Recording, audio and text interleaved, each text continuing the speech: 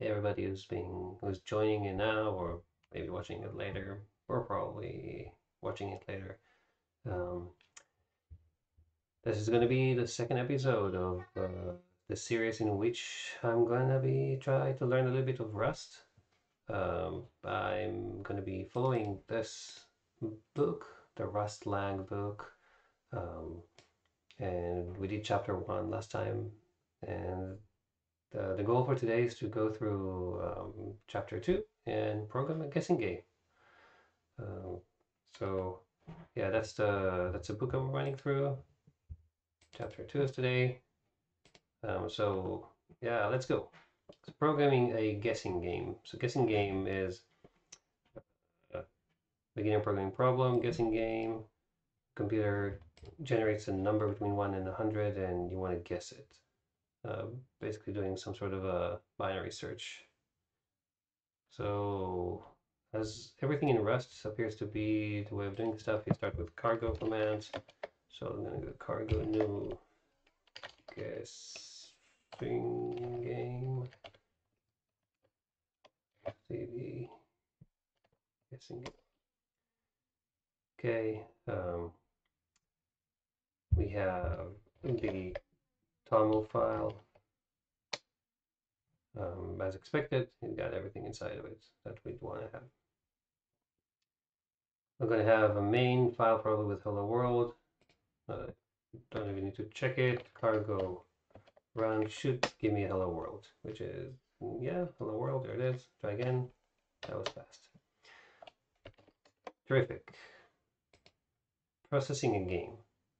So I guess what we'll have to do is to start mucking around with inputs and outputs, which would be interesting to learn how do we do these things in Rust. So um, let's look into main, or oh, sorry. So sources are inside source, right? Right. So that's where we go. Let's make it a little bit bigger. More than that. That's probably enough. So, guess the number.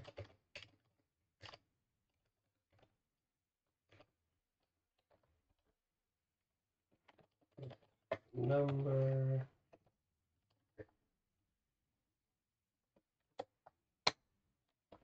And I'm gonna, instead of copying and pasting, I wanna uh, type myself a little bit so I'm gonna get used to how the language feels, right? Because I mean copying pasting is easy. Uh, would have been faster as well, but I just want to get used to you know having some muscle memory on how this language feels like when you code in it. So okay, let mute mute means this guess is mutable because I'm going to be needing to read from it. Uh, okay, that's weird. I'm going to be reading. Okay, so that's interesting.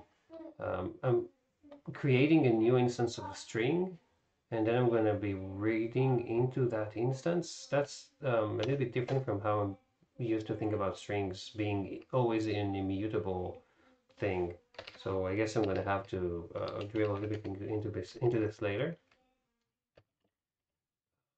how when oh, std, I want to read from std in read line at mute. I wonder what this at mute means. Is this like the address of the mutable string guess. And if I pass the address to readline, then readline will be able to put information into that address or something. Expect failed to read line. There's a lot of many things are going on here, and I have no idea what's going on. So uh, it's going to be interesting to learn and understand what all things are doing. So um, if we're talking about guessing games, I have a guess here.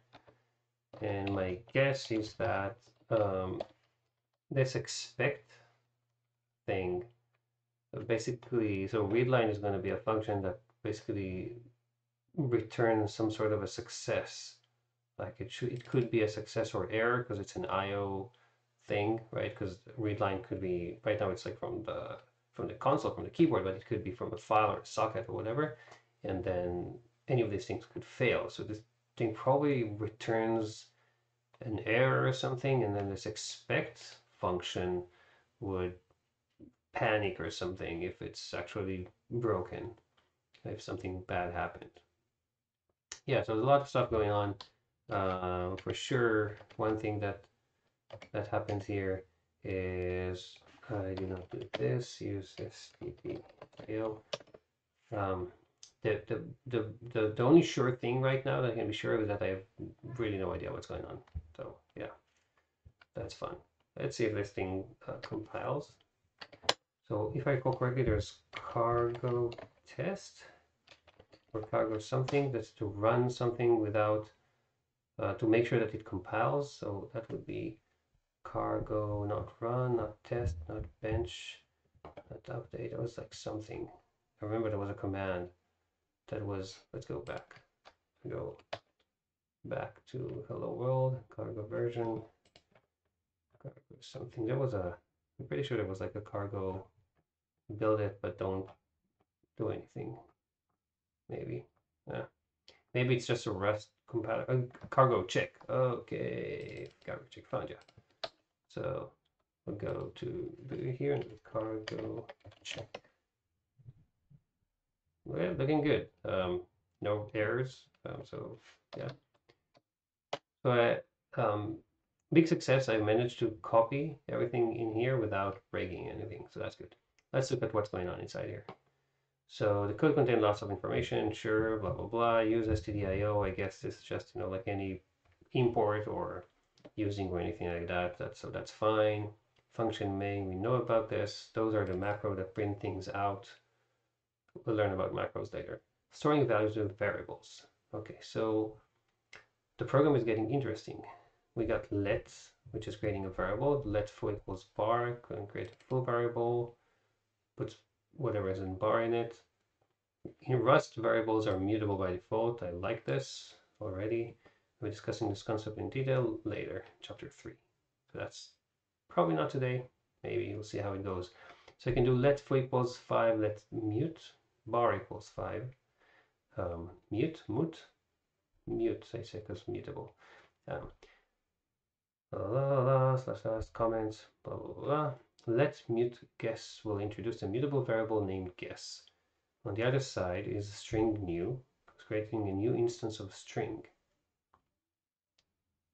provided by Library. It's growable. Oh, it's a growable UTF encoded bit and encoded bit of text. So it's growable. It's very different from any other implementation of string in, or let's say, standard library implementation of string that I've worked with in the past. In the past, I think. I mean, C++ doesn't really have any standard strings, right? So everybody has their own. Um, some of them were growable, some of them were not, but in most, most major languages, a string is not growable. Um, it's basically an array of bytes. That's interesting. Okay, the double colon syntax in double, double colon in, in, in new line indicates it's an associated function of the string type, which is kind of like, I guess, a static function on classes in like in C, C style languages, or should I say Java style languages. An associated function or C++ style language. An associated function is implemented on a type, in this case string, rather than on a particular instance. New function creates a new empty string. You'll find a new function on many types. Okay, that's true. Okay, IO stdin, that would be a function on the IO module in this case, just like the new function on the string class or type.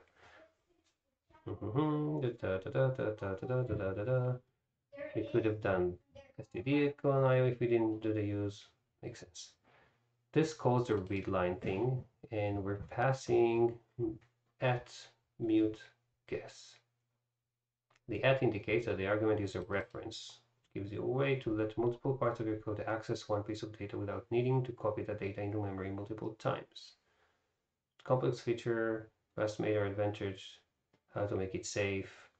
Um, I've heard about the concept of ownership in, in Rust, which is uh, basically thinking of a, a, a, single piece of executing code owns the reference at the time, and then because it owns it, it would probably be the one that needs to clean up from memory layer, which is how Rust can um, can you know avoid using garbage collection but still be be memory safe. That's uh, I guess I'm gonna have to learn it later we don't know any of these details makes sense it would still work blah blah blah need to write mood guess because we're going to change it da, da, da, da. okay and handling potential failure expect this. So when you call a method with the foo syntax, it's often wise to introduce a new line. In other words, to break things like, okay, makes sense. No. So what's the thing? Okay, so it returns an IO result. Oh, okay, so it's some, so it's going to be some kind of a wrapper that has, uh, that has the options of being failure or success. And if it's error, then the expect thing is going to do something yeah, so expect is gonna work on the result. And I guess if it sees something that is not okay, it's gonna freak out and panic with uh, with whatever string message we, we gave it. So we don't go expect, it will compile and get a warning. Oh, because there probably there's a dangling result and you didn't do anything with it. So we need to, we have to do something with the result, otherwise the compiler is going to be a little bit angry with us that's that's cool. I think that would be similar to how if you have in Go you have a return value uh, error as a second return value in a tuple and, and, and you ignore it, then it would tell you, hey, there's something here that you that you did not use. Maybe you want to do something with that. So so um, Ori is asking, um, expect crashes on error. What that could do? First of all, I'm not sure that that's what happens. I think it's going to panic on the error. Um, but what is it good for? It's good for um, when like any error that you cannot really cannot recover from. And in this case, we did not, we can't recover from this in any way at, at the moment. Then we would want to crash and you know stop the program. I guess there should be a way for me also to look into the result and say, well, if it's an error, maybe you know, provide a prompt to the user, say, hey, this that was an error. Please write it again. Please, please give me some more information. Um, so if I could recover, I guess I don't call expect. If I if I want to recover, I guess I just do something with the uh, with the result object instead of instead of calling the expect function. So the expect function probably the thing that's going to freak out. Probably very useful in tests, um, and also in top level application or where you or where you do you have things that you know you cannot recover from, which are you know things that are totally unexpected. All right, cool. That's a good question. Uh, printing values with println placeholders. Okay, we talked about this before. Uh, there's a placeholder thing. Think of it as little crab pinchers that hold a value in place. Okay, you can print more than one value in curly brackets. Uh, I want to guess that maybe you can pass in like named parts. So I don't know. We'll see about this. Probably formatting as well go into all of this. Testing the first part. Cargo run. Please input your guess. You guessed something. Let's see. So, cargo run. Please input your guess. Four. Woohoo! Let's try. Please input your guess. Um, roar. And please input your guest, your guest, and we'll go to a break. What happens? It just breaks. Um, what if I do, I know, something like Nah, just pass and enter. So yeah, we, we don't do any validation on what we got back. Generating a secret number. I guess we'll do validations later, you know, make sure that it's a number, I guess, between 1 and a 100. So we want to create a number between 100. There's probably a rand. Yes, there is a rand. Oh, there is no rand. It's a dependency. So we need to add a dependency. Cool. Okay, okay, okay. So rand is going to come in from some sort of a library or crate or library crate. Maybe it's a kind of a crate which is a library. Probably there are other crates. Okay, so we want to add a dependency into the toml file. Look, guy. I go to the dependencies and we'll say rand I love it how in Rust everything is like version 0 point whatever. I mean, come on. We've been using it for a while. Probably we could we could call it a 1. Anyway, in a cargo toml file, everything that follows the header by the section that says will tell you where to go. Da, da, da, da, 055. So this is semantic versioning, which I liked. Means generally means you know the um, the numbers on the left are more significant than the numbers on the right, which is pretty common. But it also provides some sort of a a promise that when things change here, you don't have any any like this would not provide any changes to your program. Basically, it's just uh, bug fixes. Changes here would add features but would not break existing features, and changes here might break existing features. So it's a it's a it's sort of a nice way to say 055 to 056 should be pretty harmless because it just fixes bugs and we should always do it. Uh, 05 to 06 is going to add some features and we want to think whether we want these features or not if you want to take dependency on like something higher and then changing this would require really really really strong testing over my application because I might like things might break so yeah I like semantic versioning so 055 is a shorthand for uh, this hat 055 which means anything that is compatible with it so um, it might give me 056 or something I guess because it's compatible Right, let's see uh, what happens if I try to cargo run again. Okay, so it's gonna be loading the thing. I got L6 here. It's gonna be pretty similar, I guess. Ooh, that that's pretty slow for a for gigabit internet. What's going on? How big is Rand? That's that, that's a little bit surprising. Takes longer than I expected. Okay, so we asked for RAND 055, we got 056. It's because it's just like a, a patch level, basically, it's probably just a fix, a bug fix or something. So it's saying, yeah, it's safe enough to get it. I guess there would be a way for me to specify that I want this specific 055 if I really want to. Um, just to have repeatable builds and stuff like that. Because sometimes, you know, a tiny bug fix can introduce problems uh, when you're really in production. But during development, I guess this is good enough. Right, so I got RAND, which needs probably libc because RAND probably is implemented somewhere in C for some reason. Or, or, uh, well, I don't know. It also downloaded two different versions of RAND core, whatever that is. And why do I need two versions? I have no idea, but I don't think the goal for me here is to be an expert on Rust, just to understand what's going on. All right, so please input your guess. Um, 500, nay. Okay, many different version numbers, blah, blah, blah. We have a dependency. We have a local copy of the indexed, or the registry, they call it. So we got the registry, we tried to load something, got libc and rand core, ran the build, it finished, and it ran, da da da da da. Okay, so there wasn't much changes yet anywhere. Now if we do a if we do a change in main, then it would just main would change, but nothing else, so it should be fast. Ensuring reproducible build. Okay, so I talk about it uh, a, a uh, moment later, a moment before, which is if I want to lock down the specific version, there is going to be a lock file in which I can specify the specific specific versions. Um, and then I get repeatable builds from my desktop through uh, continuous integrations servers and then to production, which is important. So if I want to update now, I'm going to need to do cargo update. Cargo update would make updates to my stuff. Right, so yeah, cargo update would have updated 55256.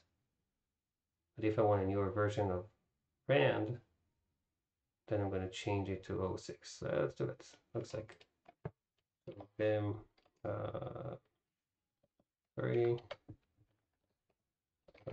Four. I'm gonna change this to what 60. What was the recommendation? Go to 60.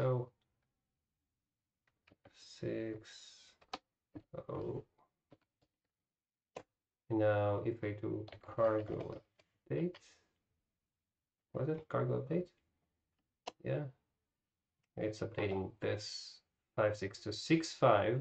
Okay, so I ask for six zero, it goes all the way to six five, oh six five, and then there's like, yeah, tons of new dependencies, which I'm, I guess you have to live with that. Um, hmm, there's a lot more to say about cargo and the ecosystem, and we talk about this later. Now we have rand, we can start using it. So vim main rs.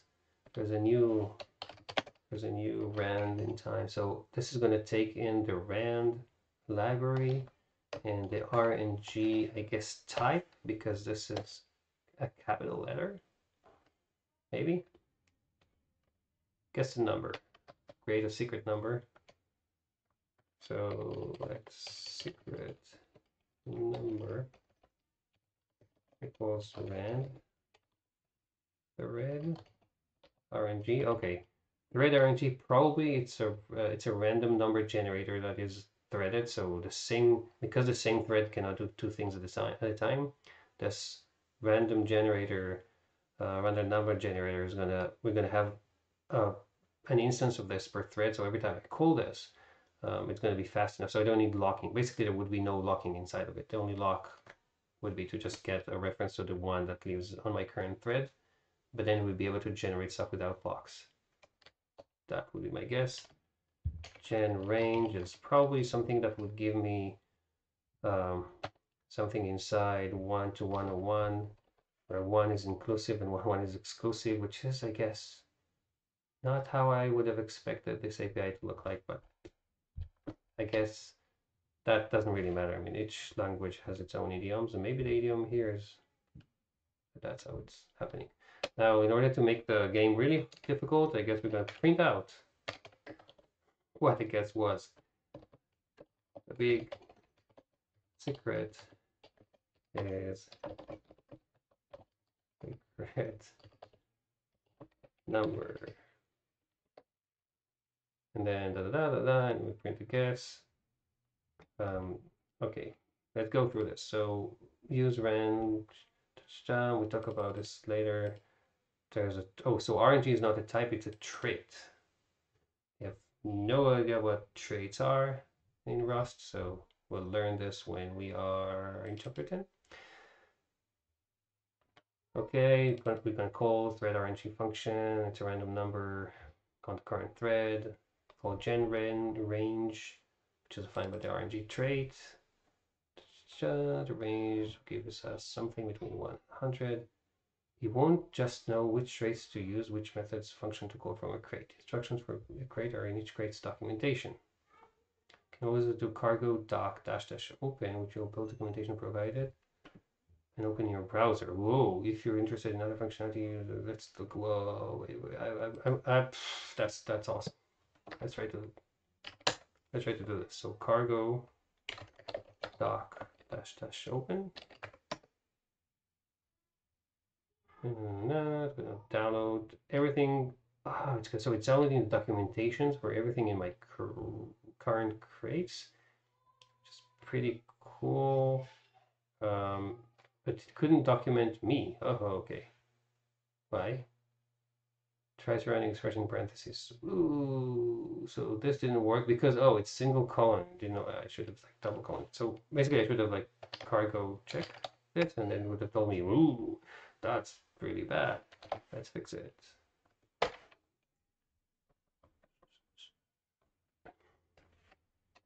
Right? That's what I sort of wanted to do. Cargo check, that's better. Cargo doc open. Oh, in the meantime, I'm just gonna need to open because because I'm running uh, inside the I'm running in what do you call it? It's uh, WSL2 on Windows. So my Linux thing, my Linux thing is a Windows subsystem for Linux, whatever it's called. Um, and in order to launch any GUI, it needs an X server running on the Windows side, which I just started. So I'm gonna try this again now it should launch my Chrome, which is, by the way, pretty neat. This Chrome window that you see here, um, you could see it looks a little bit weird as opposed like to the other ones here.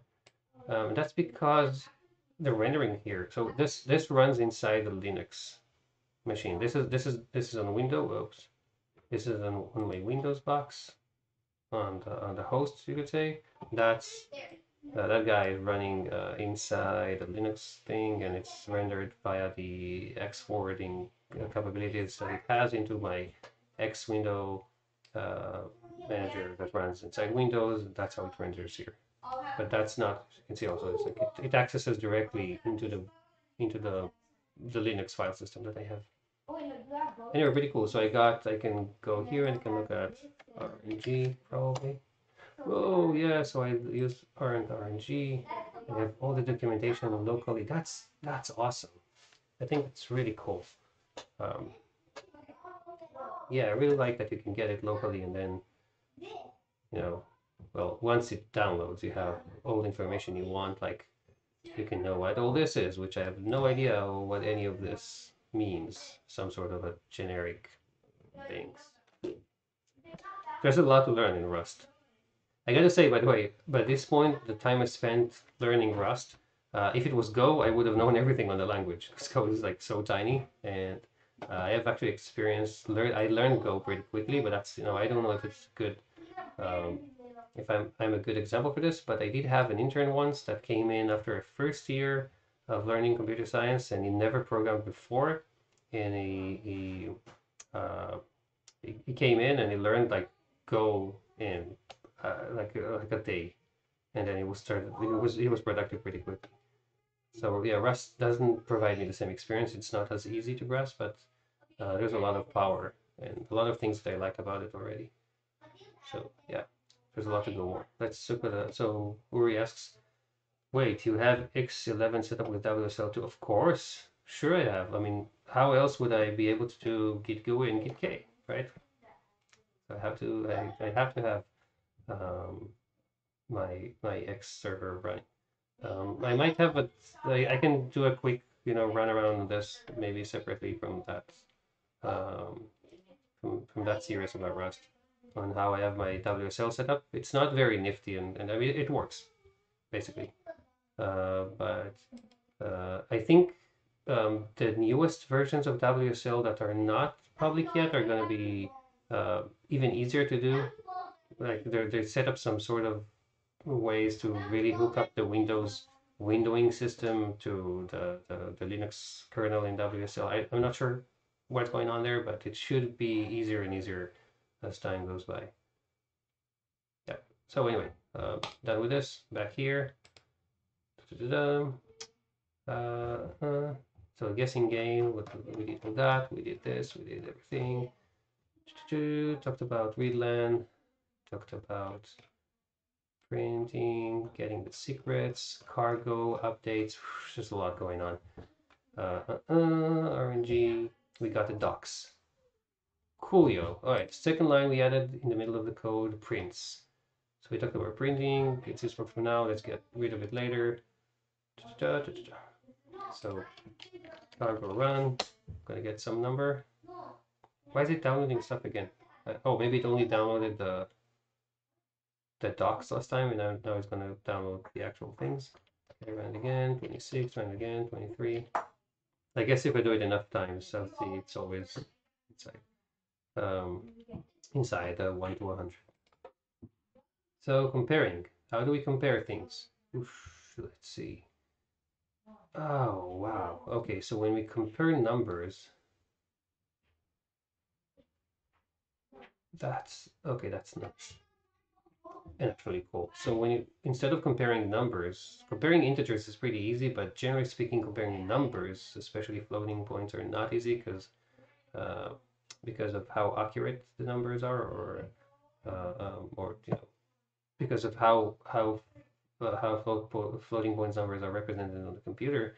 So it's a lot easier to get a response of less, greater, or less or greater uh, or, or, equal generally, and, and, then in float numbers, it's also about you know how accurate you want the comparison to be. So um, I guess if you want to get used to doing comparisons in the way that returns something non-boolean, like multiple options, um, or maybe making the comparisons more elaborate, it also makes sense to do the same thing um, on on integers. Just you know, but I don't know, maybe it's, maybe it's too much. Oh, well, actually, this is because we don't want to just check if it's... Okay, forget about that. Yeah, um, we probably could have used equals if we were just looking for equality. Like, I don't know, does this, does this match? But here we actually, because of the how the guessing game works, we want to be low, like low, low or high. So pretty cool.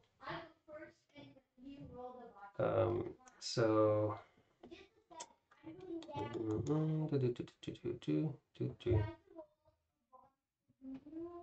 Uh, it's telling me that it won't compile. I wonder why. So we have a new use here because we're going to use the CMP ordering. So CMP ordering, let me guess, it's going to be a trait that adds the, the CMP function on the guess thing. So I guess trait um, is a way for the language to add functionality to existing types and probably it's not going to have access to the types internally like to the in internals of the type. So it would be pretty similar to um, maybe uh, how call it? Extension methods in C sharp maybe? Um, okay. So match is doing this. We add five new lines at the bottom, use ordering type, because match.cmp is going to return an ordering of less, greater, or equals. So ordering, no, so ordering is a type. It's an enum, but it's also bringing in .cmp, or maybe .cmp is part of this already and it wasn't a trait to begin with. Um, remembering guess is a good number. Magic question is made out of arms.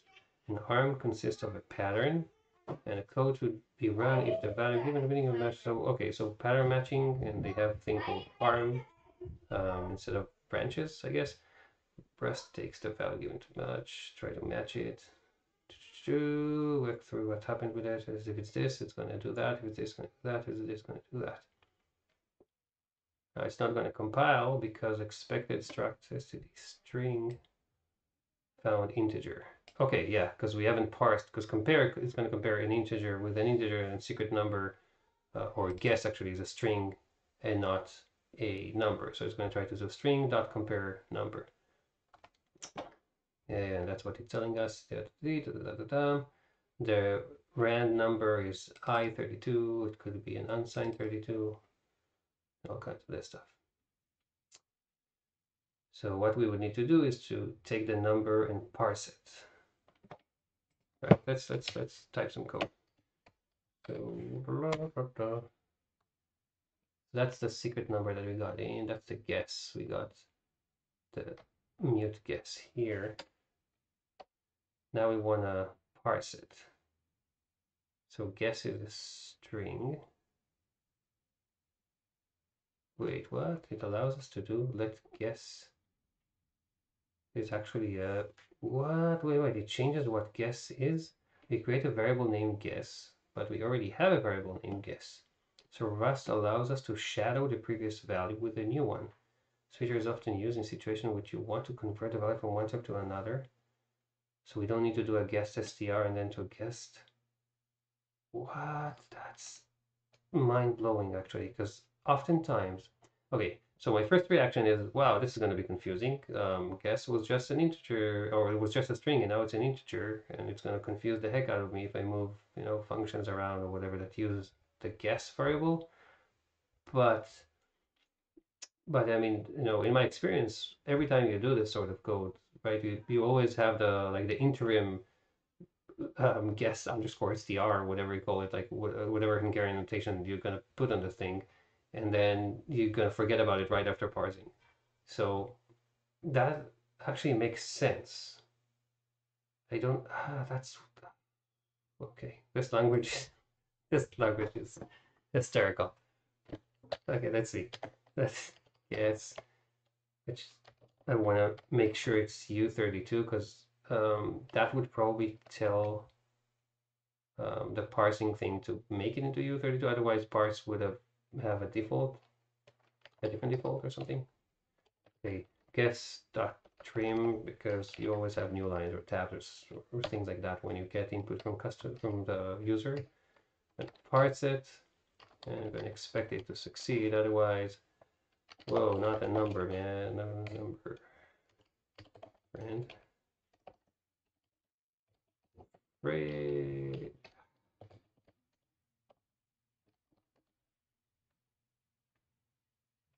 Oh. It's not a number. Friend. And that would be previous guess. Let's see if this would work. Um, uh, oh, expect doesn't let me do a string. So expect doesn't let me do string formatting the same way println would be. I, I guess there's, I bet there's a way to do string formatting somehow, but not right now. So get rid of that. Okay. Two, enter guess four. Awesome. Enter a guess. Rip. Okay, so now we see what happens when we expect something to fail. Thread main panicked. At, whoa, it's not a number, friend. Uh, that's that's wacky. Okay, parse int error kind invalid digit. Da, da, da, Yeah, I would have wanted like to catch the error and, and print out what the error was instead of like not only this like I mean, invalid digit. What digit was invalid and what place in the string was invalid. Um, there probably is a way to do it. We'll figure this out. Guess changes type meet program. Yeah, guess changes type meet program. Which, uh, like I said, it's weird, but it actually makes sense in those scenarios where you only have an interim value captured in a variable that you don't, you actually don't want nothing to do with it. It's just, you know, to capture a string and then parse it, or you know, you'll when, when it's it happens. I can think about many cases where it happens during parsing of, of things from one to the other. Um, parsing inputs. You just you just you know use something as a temporary buffer, and you always end up giving it like this weird name like underscore str or underscore input and then you just don't do anything with it later. It makes makes sense. Uh, backtrace is a stack trace. Yes, I guess.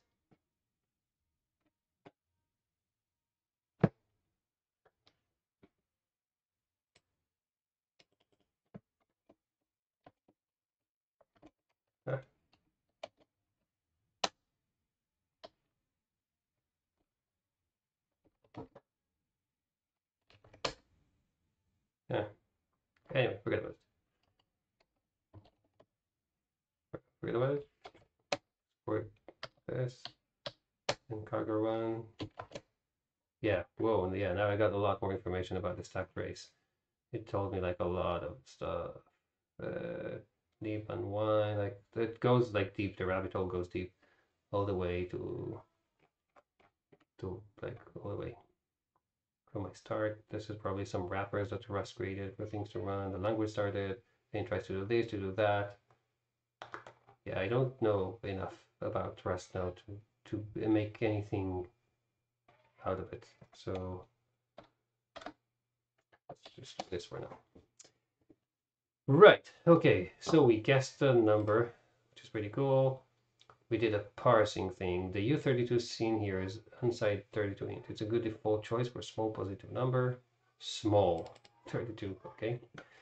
And about other number types, additionally U32 annotation in this example program is a comparison with secret number means that Rust will infer secret number should be a U32 as well. So comparison would be of same type. Call to parse, this is cause an error. If it does, then we do expecting da da da da da da da. But what we're missing is the guesses. So, ooh, thank you so much. What we're missing here is the guesses. Yeah, I got I got uh, a delivery of coffee. okay, so mm, what I don't have yet is all the comparison stuff, right? You guess difference is too big. So all the stuff with the comparison is not not in the program yet. So after we printed a secret number, we don't need to print a secret number anymore. We don't care about it. We know how it works, right? So please input your guess. I'm gonna read our guess, and that's the guess that we actually got. you guessed this. And now I want to compare. So what's um, match? I'm trying to do this like without looking at how it should work. So I'm to match um, guess compare with um, yeah, secret number. I'm pretty sure that I'm like doing it really badly. Ordering uh, more. Ah, I have no idea. I'm gonna have to scroll back. So, duck, duck, duck, duck, duck. Where was it? Ordering more. Greater, not more. Okay, so we start with less. And if it's less, we're gonna print len to small. Good enough. Comma. Or, uh, oops, there's another thing that I like here. Okay, so ordering uh. And in my mind, it's easier to do like less equal more than less greater equal. So I don't know, that's just that's just optics. Today, uh,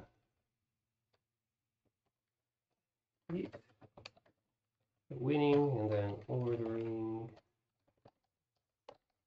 um, greater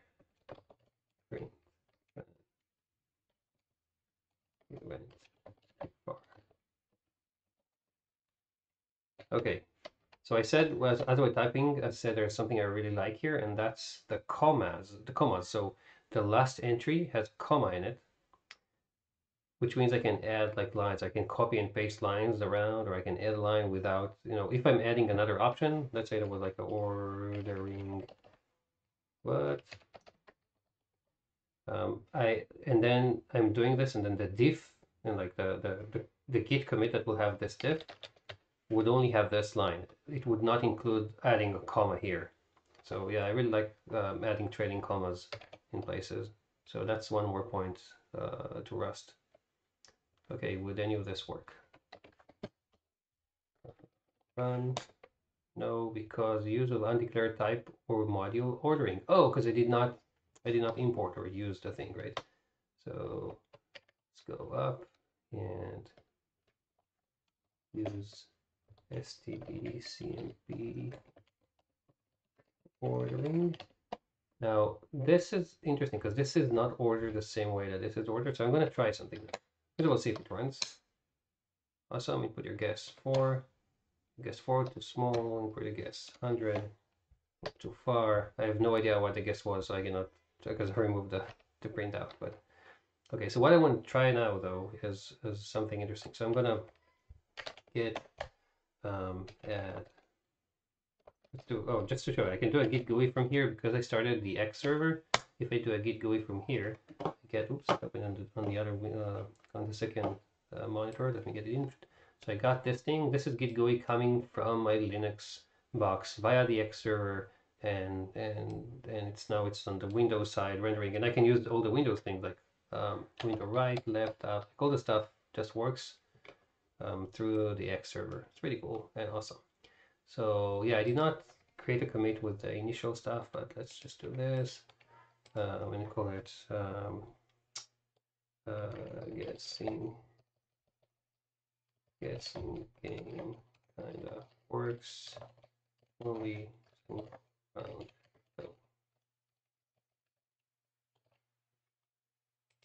Now, why I did this? Oh, and getting ignore. It's always fun to have commit, amend, last commit. I didn't ignore and commit. Woohoo!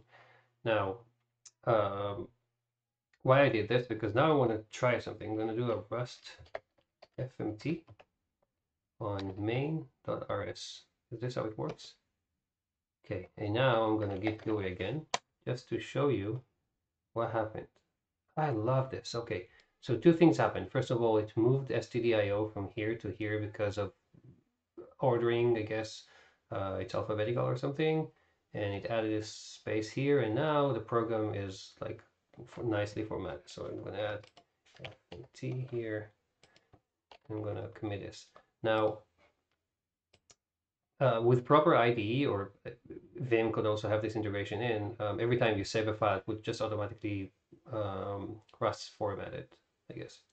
Um, so yeah, that's that's pretty cool. I really like just languages today are becoming more opinionated in this way.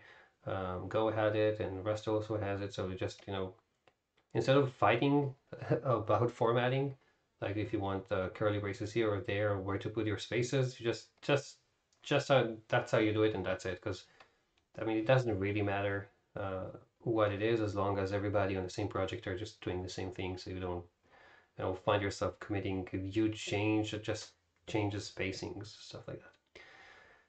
Um, it lets you focus on you know uh, it helps you focus on the essence of what you code instead of the you know just fight over the form. Okay, so we did all that. It works, but we cannot do this more than once.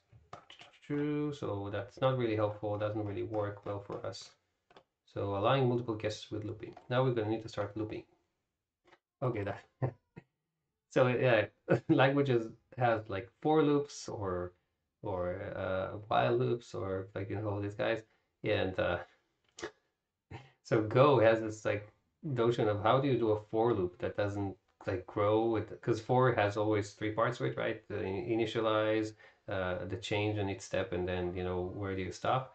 But if you don't never want to stop, never want to initialize, never want to change anything, uh, in Go you just do a for loop, you just write for, which was always awkward. So uh, yeah, I could have to Rust for adding the loop keyword. The loop is just going to be looping through this until eternity, I guess.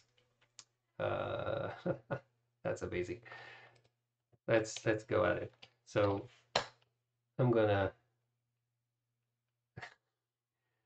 So every time we want to guess, it's gonna be after we created the guess. Let's see. So if I loop here, and here, and spacing is awkward, right? From T, uh, not T, first, second T, main, RS. No, it's not awkward.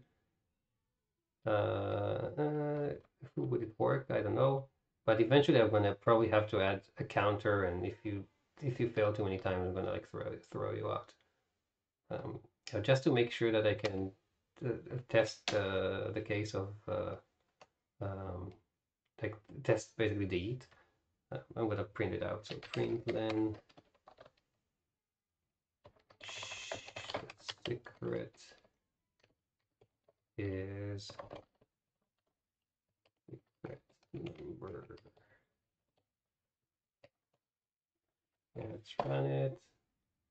So the secret was 30. So we could do 29. Too small. 31. Oh! What was not a number, friend? Wait, what? That's... That didn't work. Why did it not work?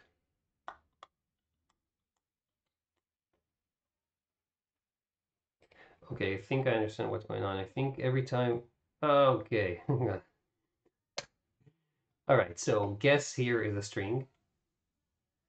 And then inside here, guess becomes a non-string, like a number. And then it goes here and then trying to read line into guess, which is like not a string anymore. Like everything here is like broken up because because at this point, guess became like something weird. I don't know why it didn't error, but now we could not trim it. Like something here, something, uh, something is broken. Um, if I just take this here and put it here, remove that guy, format, and then run, let's see, 31 is going to be too small, um, 33 is going to be too far, 32 is going to eat. I never, I need to break after this. I need to break. Surely I need to break after this from the loop. Uh, how do I break? So let me guess. I'm not going to look inside there. So the way I'm going to try to do this, I'm going to add, make this into a full block. and then break. When I'm doing K, I want to see if I get like, if, if it's going to paint it in a separate color for me. Ah, yes, so there's a break. There's a break keyword in the language. I'm going to close it, do this. Now this is not an expression anymore, it's a statement or whatever here, but this is, I need a comma here. Okay, let's see if this works. That would be awesome if it is working. So, uh, oh wait, I did it on the, I did all this in the greater, not in the equal case. So, take and uh, went too far.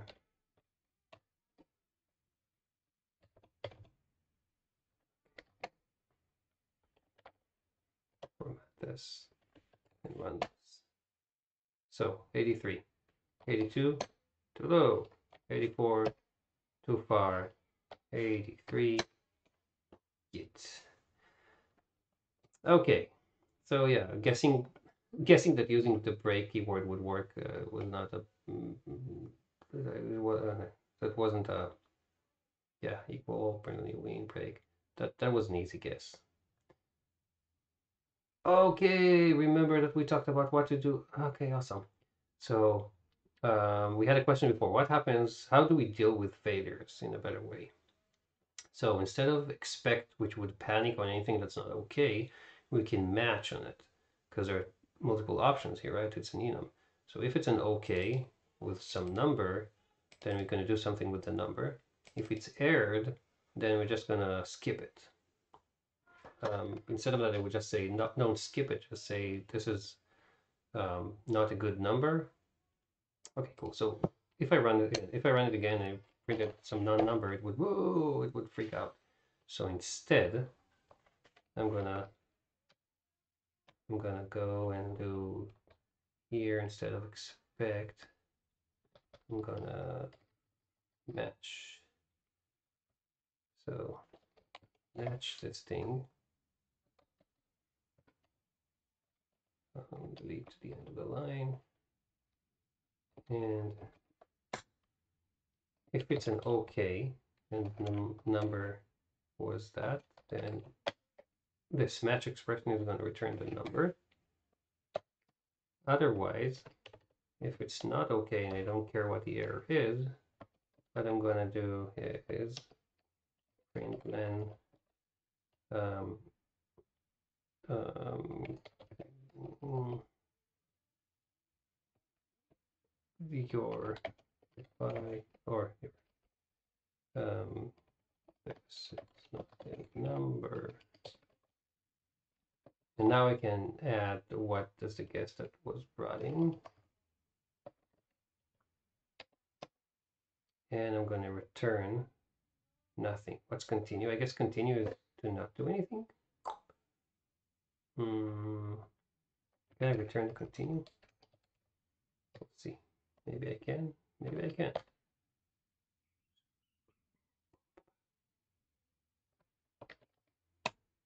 Save it format. Ooh. Could not format it because expected pattern. Let's see what I did wrong here. So guess equals match guess string parse. if it's this, then that. Oh, you're right. Because this this is option number one. Okay, comma. Option number two error, comma.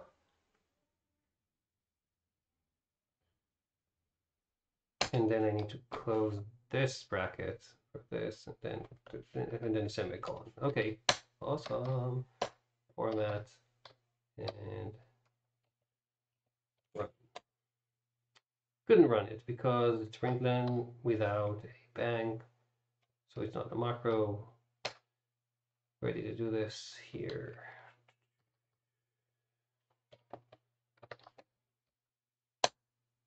Okay, so my guess is none. This is not a number, none. Try again, 95, hit. Julio. Switching from an expect to to match expression is how you generally move from crashing on error to handling the error. Remember that parse returns a result type, so we can choose what to do. If parse is able to successfully return the string, turn the string into a number, it will return OK value. Otherwise, it would return an ERR. The underscore is because we don't care what it is. It would error like whatever the error thing, it's gonna, it's gonna, um, we're gonna do something with that. We could have like captured, I guess, the error, like error colon ex or the exception or whatever it's called here, ERR error, and use it if you if you liked. Okay, we got all this. We can delete the initial println so that we don't screw this up.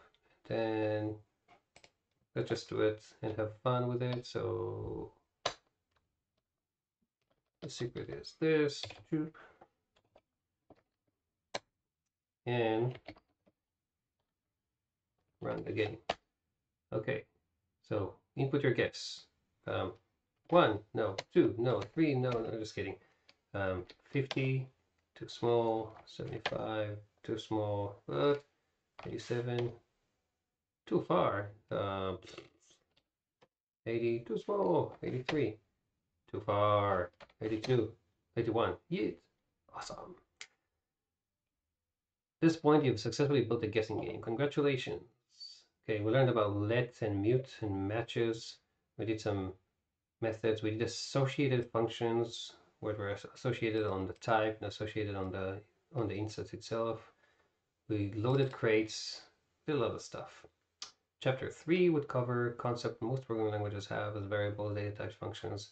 Okay, so I guess until now we just you know dabbled around with the language and built some stuff, but we'll learn uh, in chapter 4 and, and then later on about the actual things that happens like why why did i write these things? Eventually i'll be able to understand what's the what's the deal with the macro i guess.